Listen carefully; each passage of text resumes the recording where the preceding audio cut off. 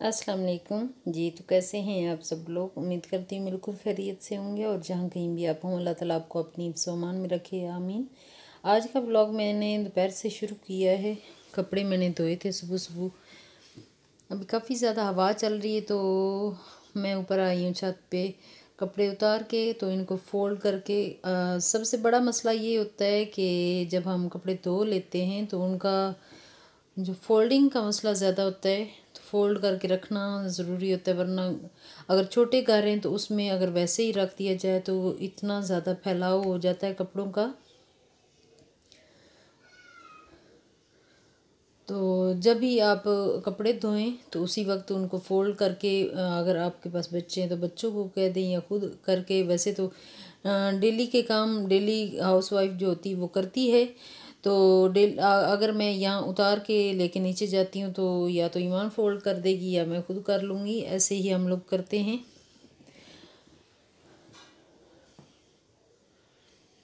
अगर फोल्ड करके ना रखे जाएँ तो हमारा घर तो काफ़ी ज़्यादा रश, बहुत ज़्यादा फिर रश हो जाता है।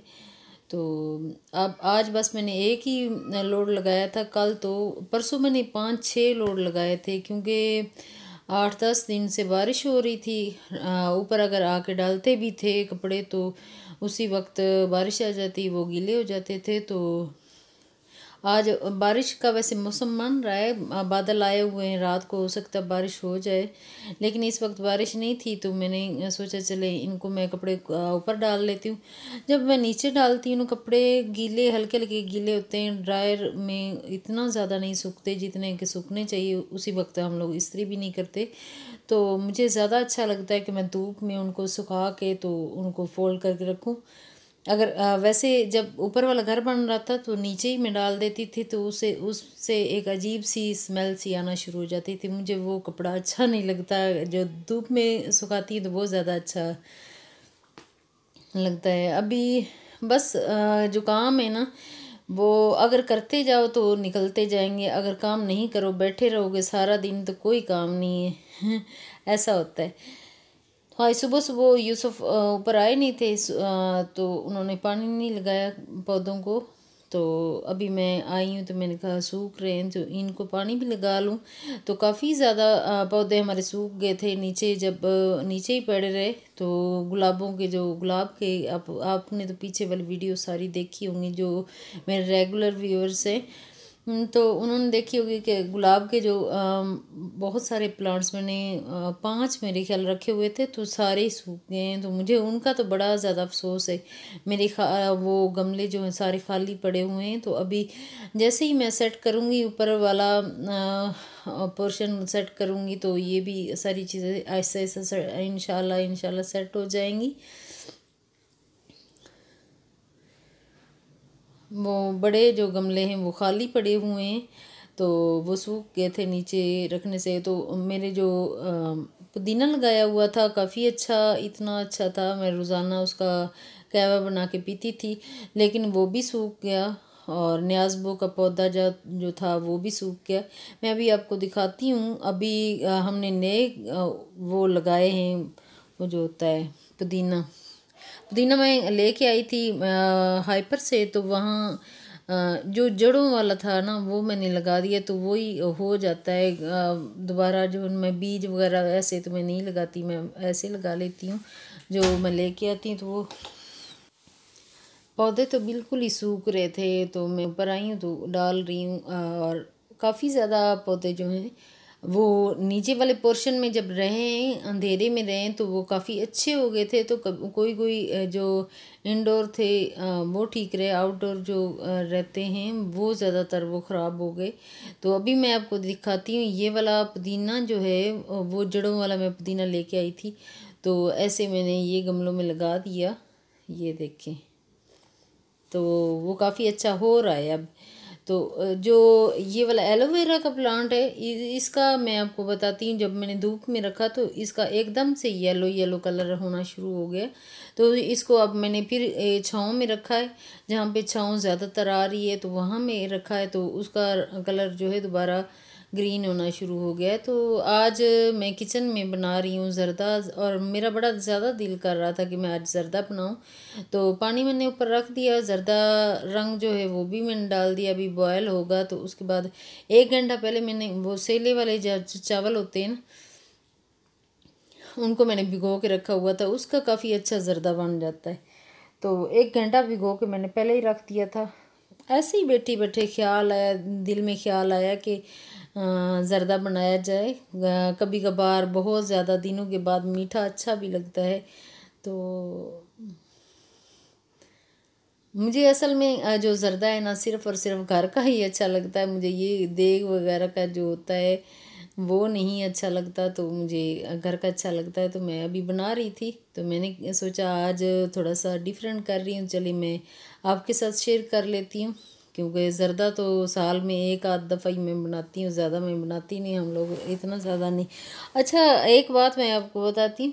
हम्म, जब मैं ज़रदा बनाने लगी तो मेरे पास फैद चीनी नहीं पड़ी हुई थी तो फिर मैंने अजीम को कहा कि मुझे आजकल हम लोग शक्कर इस्तेमाल कर रहे हैं तो जो है ज़रदा वो तो चीनी का ही अच्छा लगता है शक्कर का नहीं अच्छा लगता। तो फिर मैंने इस फैद चीनी मंगवाई। चावल मैंने डाल दिए और कलर भी काफ़ी अच्छा जर्दे का कलर काफ़ी अच्छा लग रहा है। तो बॉयल होने के लिए रख दिया है। जब ये अच्छी तरह बॉयल हो जाएगा, इसमें एक कनी भी मैं नहीं रखूँगी क्योंकि ये सेले वाले जो चावल हैं, इनमें एक कनी भी ना हो, फिर भी ये बड़े अच्छे ऐसे इनके अंदर जान सी होती है। जब पक भी जाए ना तो जान सी होती है। अभी मैं चेक कर रही हूँ, थोड़ा सा कसर है, उसके बाद थोड़ी देर के लिए और रख दूँगी।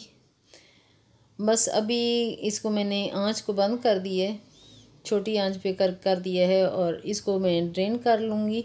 ड्रेन करके तो ये जी मैं एक छाननी सी है, उसमें डाल के तो रख दूँगी तो सारा पानी जो है वो ड्रेन हो जाएगा।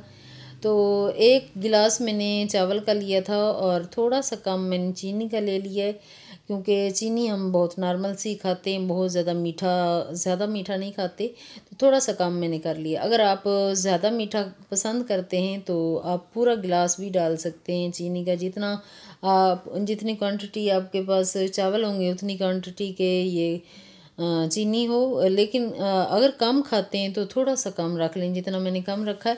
तो इसमें उतना ही पानी मैंने जितना चीनी है, उससे थोड़ा सा कम मैंने पानी डाल दिया था। आधा गिलास पानी डाला है तो उसमें बस बॉयल करने के लिए मैंने छोड़ दिया इलायची भी अभी डाल दूँगी।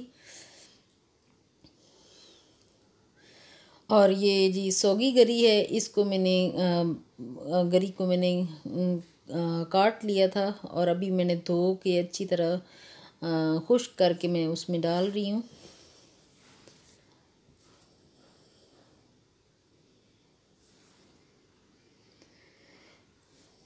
और इसमें यहाँ पे थोड़ा सा ये पकेगा ना, एक एक मिनट तक की इसको पकाएँगे तो ये जाग सी बन जाएगी। तो एक चम्मच जो है, डेढ़ चम्मच मैंने घी, देसी घी का डाल दिया है। देसी घी को उतनी देर तक पकाना है, उसकी स्मेल सी जो होती है वो ख़त्म हो जाए, क्योंकि देसी घी की किसी किसी को महक अच्छी नहीं लगती। तो वो ऑयल भी डाल सकते हैं, लेकिन हमें देसी घी की जो खुशबू है वो बहुत ज़्यादा पसंद है। हमें कोई इतना ज़्यादा बुरा नहीं लगता क्योंकि हम लोग शुरू से जब से हम लोग पैदा हुए हैं उसके बाद से हम लोग अच्छा आयल तो हमने जब जब से शादी हुई आयल हमने उस वक्त इस्तेमाल करना शुरू किया। हम हमारे घर में देसी घी ही इस्तेमाल होता था। हम नहीं आ, सालन में भी देसी घी चावलों में जो भी जर्दा बिरयानी जो कुछ भी हमारे घर में बनता था तो देसी घी में बनता था। हमारे घर में अम्मी चाटी वाली लस्सी बनाती था, साथ मक्खन होता सुबह सुबह मक्खन और चीनी डाल के ऐसे भी रोटी खा ली जाती, चूरी बना के खा ली जाती। तो तो इस तरह हमारा, हमारे घर में जो रूटीन होता था, ये होता था।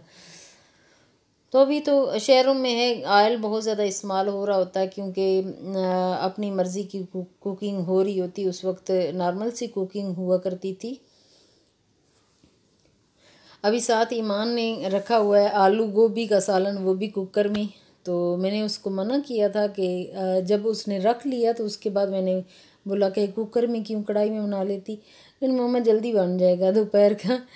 चले, मैंने कहा, चले, ठीक है, अभी हमारा जो है ज़रदा बहुत ही मज़ेदार सा बन के तैयार हो चुका है और जल्दी जल्दी मैं तो निकालूँगी और जाके खाऊँगी और अगर आपका दिल कर रहा है तो आप भी बना सकते हैं। इसी रेसिपी को ट्राई कर कीजिए, बहुत ही मज़े वाला आपका भी ज़रदा बनेगा।